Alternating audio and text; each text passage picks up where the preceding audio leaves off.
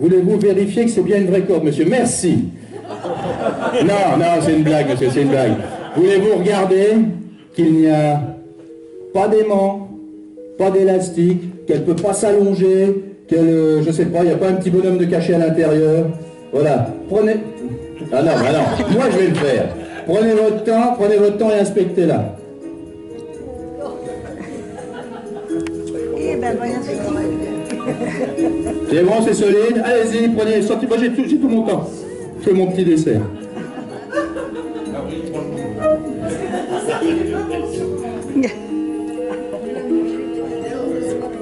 Ah, c'est bon? C'est bon impeccable.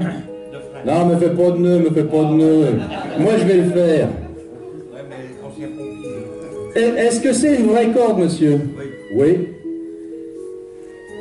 De toute façon, s'il y avait eu le moindre problème, je ne vous l'aurais pas donné à vérifier. C'est une corde comme on peut trouver dans n'importe quelle chambre à coucher. Quoi Alors, je vais vous expliquer comment ça se passe. Parce que le secret, il n'est pas dans la corde. Le secret, il est dans le nœud. Et le nœud, ça s'appelle c'est un nœud qui a été inventé en Mongolie intérieure par les cavaliers mongols. Et c'est le nœud secret de Mongolie. C'est un nœud ancien et vénérable. Et c'est ce nœud que je vais vous expliquer. Donc en fait, la première chose à faire, c'est de plier la corde en son milieu pour avoir deux longueurs strictement identiques. Alors le chef, il voulait couper là. Tiens, chef, coupe la corde. Parce que des fois, on dit le magicien, il coupe pas vraiment la corde. Faut l'attendre un peu. Tac Et coupez la corde, là, il n'y a pas de triche. Ah, parce qu'on dit que je triche. Deux cordes de même longueur, à peu près.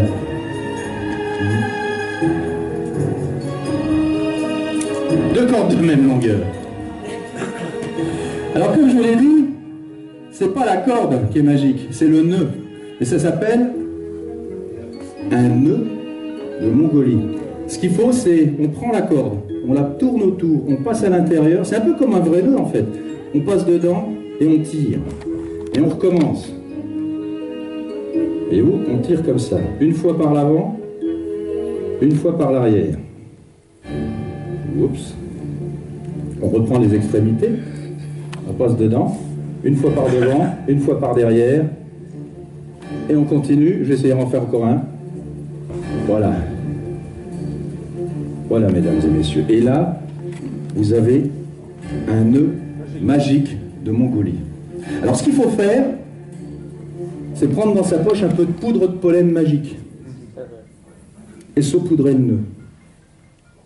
Et là, il n'y a même pas de, formule magique à dire, c'est la poudre de pollen qui fait dissoudre le nœud. Et il suffit de tirer lentement et le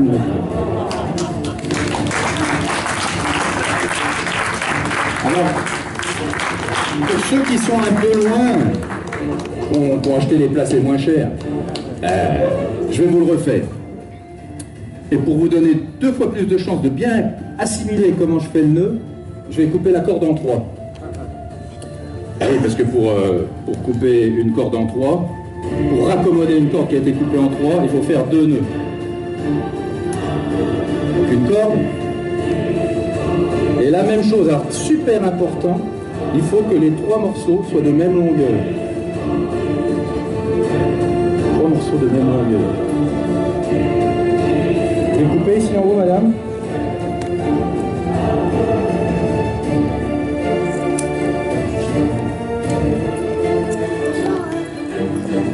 Vous les coupez en bas, monsieur? Bien au milieu, parce qu'il faut que les cordes soient absolument de même longueur.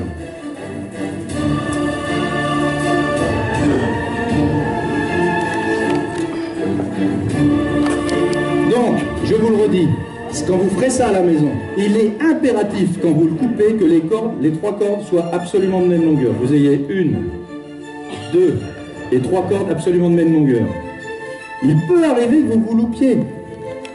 Quand vous allez essayer ça tout seul chez vous, il se peut, parce que ça peut arriver à n'importe qui de se tromper, et que vous ayez coupé une petite corde, une corde normale et, une grande corde. Si vous faites ça, ça marchera pas.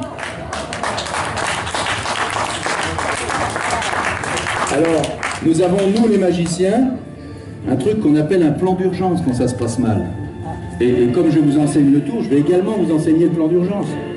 Il faut mettre les trois cordes dans sa main comme ceci, et il faut reprendre les autres extrémités. Donc on prend la première extrémité, on plie selon les extrémités. La deuxième extrémité et la troisième extrémité.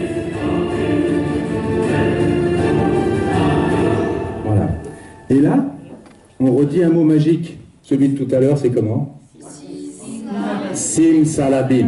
Il faut le dire avec un maximum de conviction. Sim salabim. ça me fait tout le temps rire, c'est complètement stupide, mais, mais ça marche, mesdames et messieurs.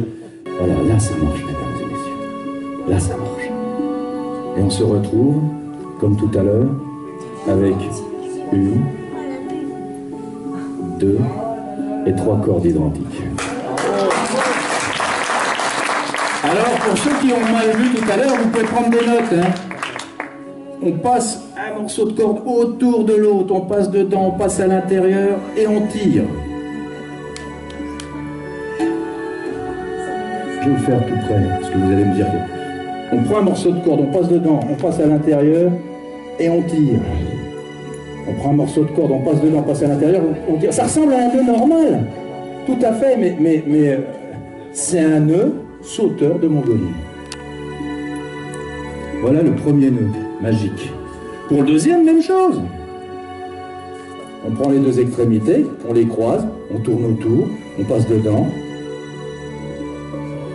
on ferme, on tire très fort, on reprend les deux extrémités, on tourne autour, on passe dedans et on ferme. Et on a un deuxième nœud sauteur de Mongolie. Et là, on prend quelque chose dans sa poche, on prend de la de la poudre de pollen magique et on en saupoudre sur les nœuds. Avez-vous des questions jusque-là? Aucune question? Parce que souvent on me demande où est-ce que je peux trouver de la poudre de pollen magique parce que la corde vous allez en trouver mais j'ai du mal à cette réponse parce qu'en fait euh, je la récolte moi-même parce que mes plants sont dans la cave mais là je peux rien dire. Donc on saupoudre de la poudre de pollen magique et on laisse les nœuds se dissoudre. Et une fois que les nœuds sont dissous, eh ben, on se retrouve avec euh, une seule et longue corde.